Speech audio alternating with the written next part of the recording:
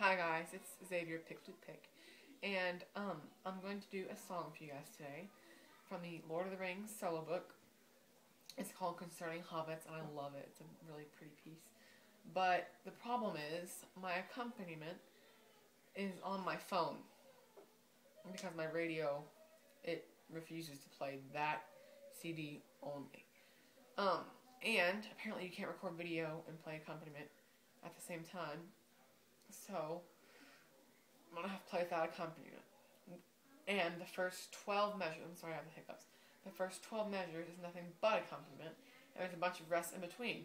So I'm just gonna take a little bitty small break to catch my breath, and I'm gonna play um through the rests. So I'm gonna skip the rest basically is what I mean. Anyway, besides that, this is concerning hobbits.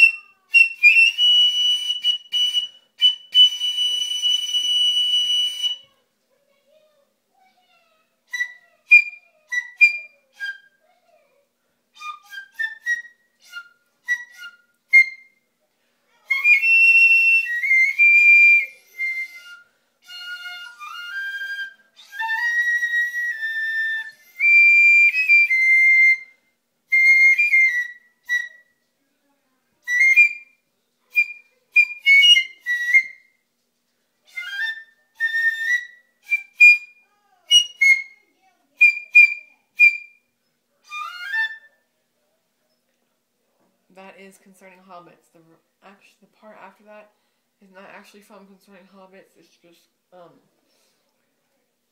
an outro basically. So that is concerning hobbits. Now before I leave, I want to tell you guys that I play that on piccolo, not flute that it's written for. So that's why it sounded like it did.